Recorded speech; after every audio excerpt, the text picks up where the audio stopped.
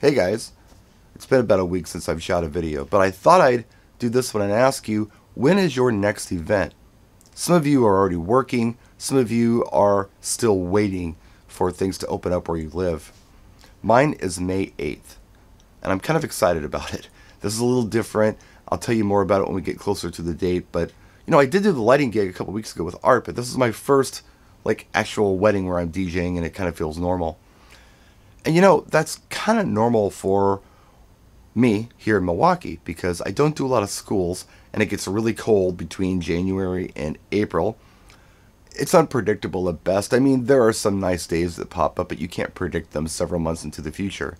You could be looking at a snowstorm, and people don't like to get married during snowstorms.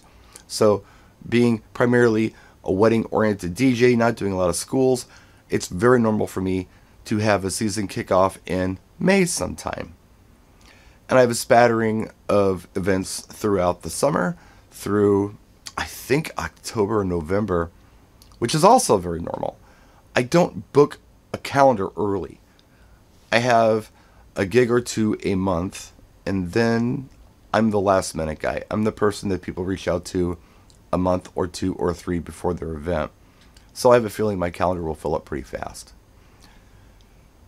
And I think it's time.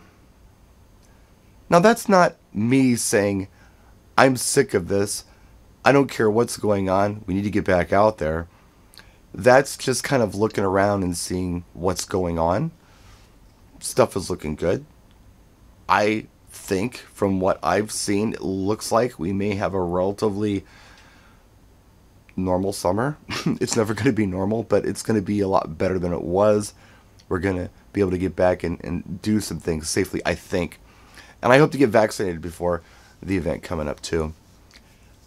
And you know, it is March 7th, and it was about this time last year where I was saying to myself, you know what? I'm not going to make a surprise appearance at Mobile Beat this year because this doesn't look good. And I should probably check our supply of toilet paper and get some groceries because it's looking weird out there. And it's been the weirdest year ever. And I'm still here, and you're still here because you're watching this video. Either you didn't get the plague or you didn't die of it. We're looking at vaccinations now.